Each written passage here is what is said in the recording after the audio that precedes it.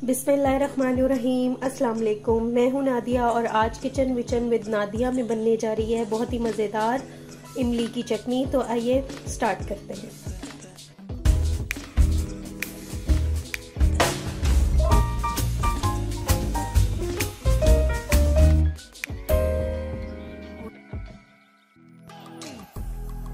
इमली की चटनी बनाने के लिए जो चीज़ें चाहिए, वो मैं आप लोगों को बता देती हूँ। इमली ली है मैंने तीन खाने के चम्मच, बड़े वाले खाने के तीन चम्मच, फुल भर भर के इमली ली है और चार खाने के चम्मच चीनी ली है।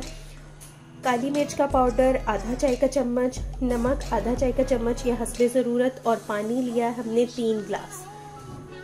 चलें, अब बनाना स्टार्ट करते हैं। सबसे पहले हमने एक दरमियानी साइज़ की पतीली ले ली है। इसमें शामिल करेंगे इमली।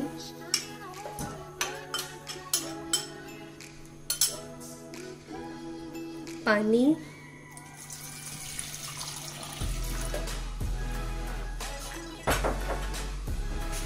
और इसके नीचे मैं फ्लेम ऑन करूँगी।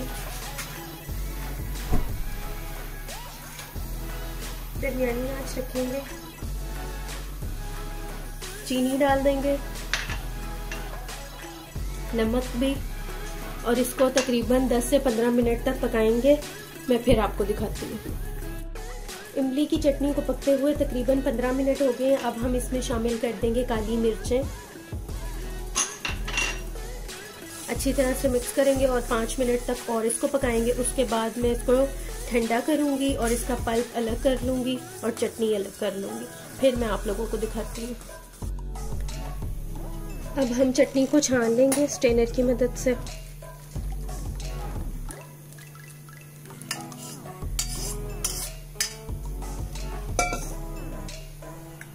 इसका सारा पल्प अलग कर लेंगे।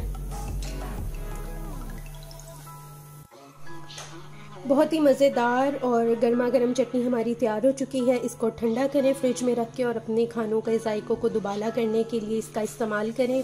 अगर आपको मेरी वीडियो पसंद आई है तो लाइक करें, मेरे चैनल किचन विचन को सब्सक्राइब करें। अल्लाह हाफिज़।